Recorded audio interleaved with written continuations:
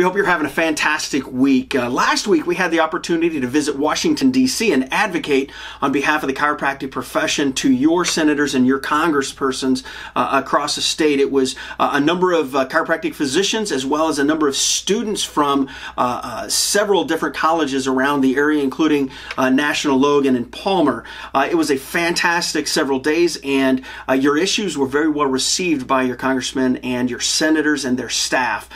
In fact, we dealt with a number of issues, including uh, chiropractic physicians on staff with VA hospitals. We still have 100 of 160 or so uh, VA hospitals that do not have a chiropractic physician on staff. We still struggle through uh, the choice option, which is the referral portion where they can refer to chiropractic physicians uh, outside of the VA system.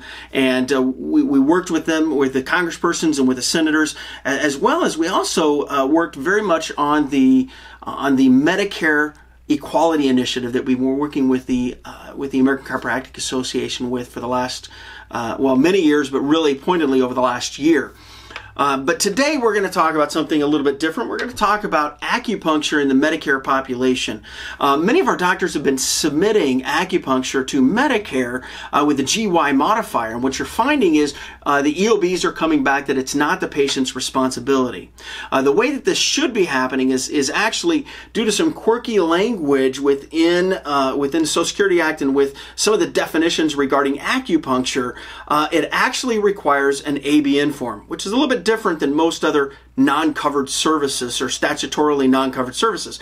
So what you want to do is you want to make sure that on, on acupuncture services that you obtain an ABN form, have the patient sign it, and then you're going to submit that bill with a GA modifier and not a GY modifier.